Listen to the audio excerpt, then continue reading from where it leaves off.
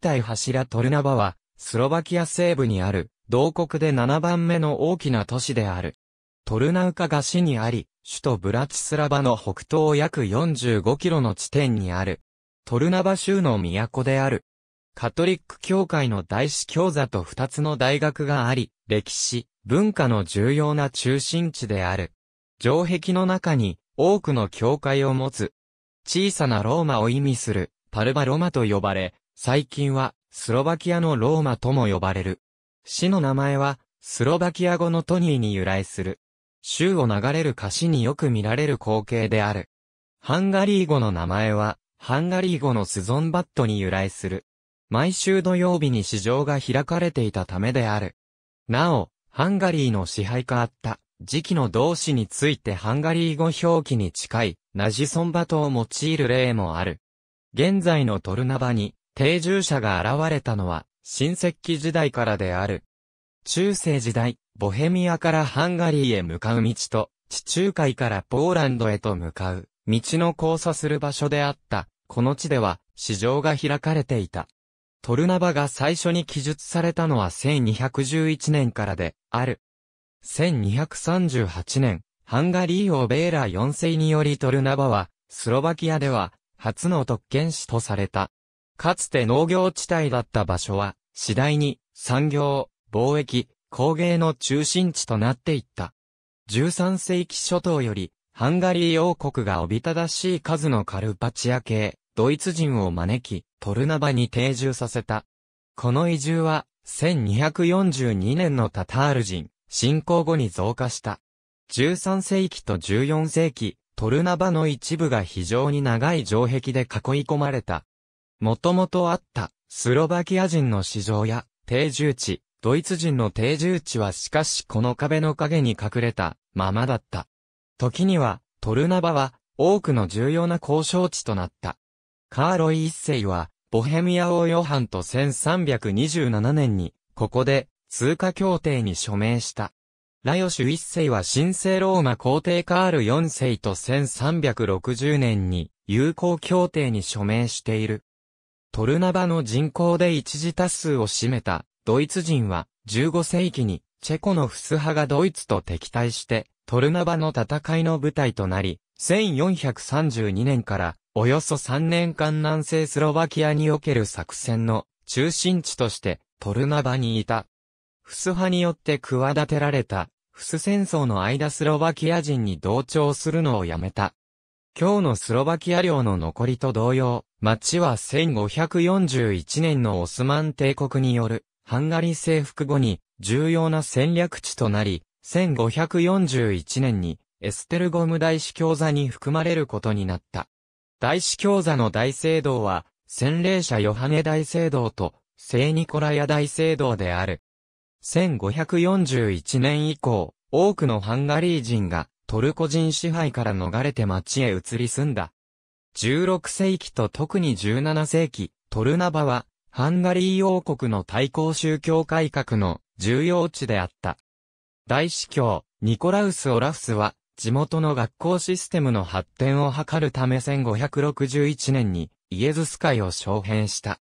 その結果として、彼は1566年に神学校を開校し、1577年に聖職者ニコラス・テレグジが町に印刷所を開業した。最初のカトリック聖書のハンガリー語訳は、1573年にトルナバで生まれたイエズス会士ジョルジ・カールジによって完成した。イエズス会のトルナバ大学は当時、ハンガリー王国唯一の大学で、大司教パスマニ・ペテルによって創立されたものである。対抗宗教改革支援のため創立され、すぐに、スロバキア教育、文学の中心地になり、教授の大多数、学生の半分、及び町の住民の半数が、スロバキア人となった。パスマニ自身は、チェコ語の代わりに、スロバキア人の言語を奨励する力となり、著作イセナイガージオグラベゼートカラウズを書き、自分の説教のいくつかを地元の言葉に翻訳した。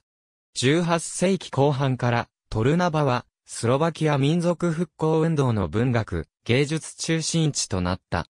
スロバキア語の初の標準辞典編纂は、トルナバ地方で話されている、スロバキア方言を元としていた。17世紀は、多くの反ハプスブルク家暴動が、スロバキアで起きたのが特徴である。ボチュカイ、イシュトバーン、ベトレンガーボル、ラーコーツィジェルジ2世、テケリームレラの起こした反乱は、トルナバの歴史に悲観的な印象を残した。第二次世界大戦まで、トルナバはかなり大きな少数派ユダヤ人の居住地だった。彼らの移動の自由は1495年頃と、1539年から1800年の間制限されていた。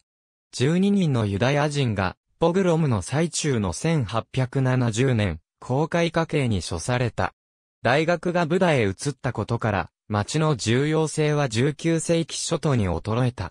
大司教座もエステルゴムへ移った。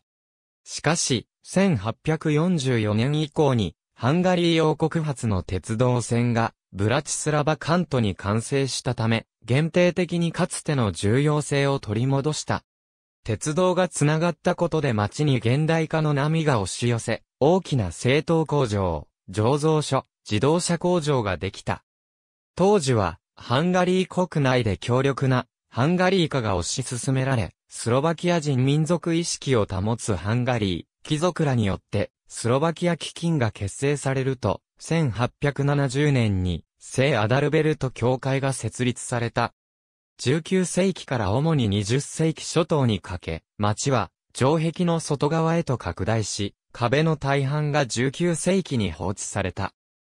1918年のチェコスロバキア建国後、トルナバは、スロバキアの重要な産業都市となった。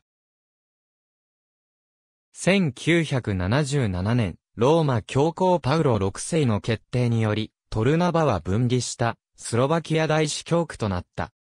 この大司教区の設立で、スロバキアは数世紀にわたり教会管理を担ってきたハンガリーから初めて独立したのである。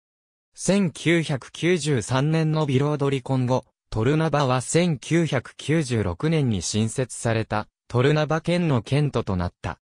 フランスの自動車会社 PSA、プジョーシトロエンが2003年より大自動車工場を創業している。トルナバは標高146メートル地点にあり、面積は71.535平方キロメートルである。トルナーブカ川のドナウ低地に位置し、ブラチスラバの北東45キロ、ニトラ西方50キロ、チェコとの国境から70キロ離れている。最も近い山脈は、西のショーカルパチア山脈、北東のポバズスキー山脈である。温帯属するトルナバは、四季の区別が、はっきりとした大陸性気候である。暑い夏と寒い冬が特徴である。ゴシック様式の聖ニコラヤ教会、トルナバ中心部の当中世初期、トルナバはゴシック建築の中心地であった。聖ニコラヤ教会、聖ヘレニ教会など多くの修道院教会、複合建築がこの時期に建てられた。16世紀のルネサンス建築がトルナバのシルエットとして塔に加えられた。ニコラス・オラーは大司教邸宅と神学校の建設を命じた。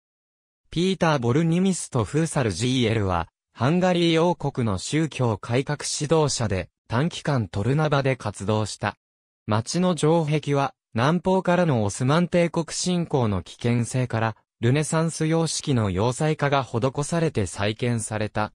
17世紀はシレジアルネサンスが花開いた時代である。トルナバは次第にバロック様式に再設計された。洗礼者、ヨハネ教会の建設と大学キャンパスの建設が、フランチェスコ会の複合建設物の再建が進む、中での建設ラッシュに乗り出した。建設者と芸術家は、市民建築の工場において特筆される、大学建設だと称した。聖母マリアと、聖三味一体柱、聖ヨセフ群像、ウルスラ会と三味一体修道院及び教会はこの時代の建設である。トルナバ地区病院は1824年に建てられた。劇場の建設は1831年5月に始まった。最初の公演はクリスマスに行われた。二つあるシナゴーグは両方とも東方のモチーフを持つ、歴史的構造を備え、19世紀に遡る、建物である。2001年調査によると、トルナバの人口は7286人である。96.89%が、スロバキア人、0.79%が、チェコ人、0.27%が、ロマ人、0.21%が、ハンガリー人である。トルナバは、ブラチスラバジリナ間の鉄道と、ブラチスラバジリナ間の高速道 D1 の中間点に、ある。自動車道 R1 が通る。ありがとうございます。